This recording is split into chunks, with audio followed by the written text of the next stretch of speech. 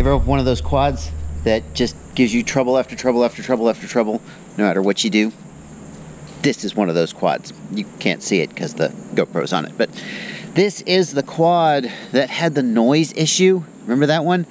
And I showed you all the ways I tried to troubleshoot the noise and I still didn't fix it. And I replaced the ESC, no, I replaced the flight controller. I replaced the flight controller and I put the Helio spring on it and it flew pretty good for a while and now it's got another freaking problem. Unrelated to the Helio spring. No, no, no, no, nothing to do with that. It's got, I think it's got a bad ESC. It's a 4-in-1 ESC. I think it's got a bad channel. And in fact, it's not completely failed. But I'm gonna, I want to show you what it does when you have a slightly failing but not quite failing ESC.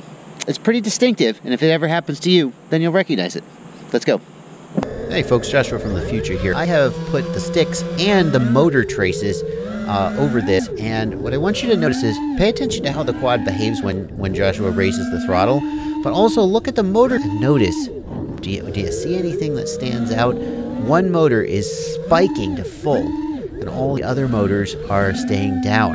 That motor that's spiking to full, that is the one that's having a problem, and that's why the quad tips violently to the side when you jam the throttle, because that motor is not getting to full power. So, yeah, there, there you go. It, watch it some more. Watch it in slow-mo. Freeze frame, do whatever you like.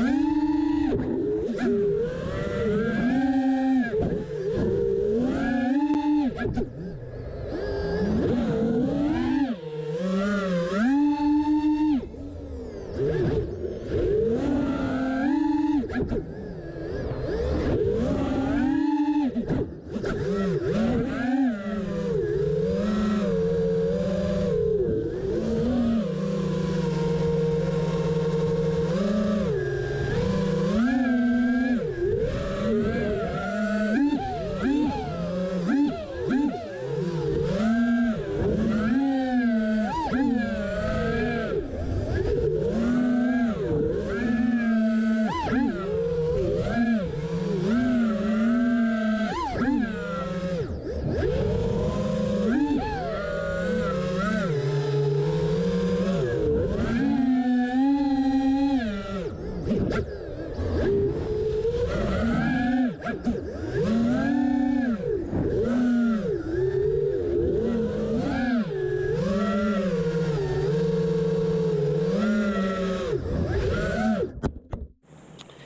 know, I blame the ESC. The way that the quad goes as you jam the throttle, that's not a tuning issue. That's a hardware issue. You might be able to tune it out if you tried real hard, but that's kind of like if you got a sprained ankle. Yeah, you can limp on it, but you ain't. You still ain't walking right.